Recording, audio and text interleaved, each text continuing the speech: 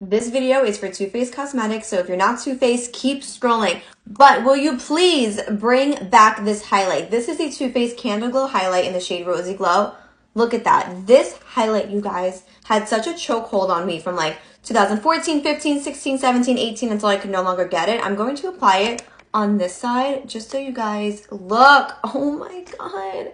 You guys, this highlight is amazing and it really should be illegal that it's discontinued because this highlight is just iconic. So Too Faced, if you care about us consumers, please bring back this highlight. It is beautiful.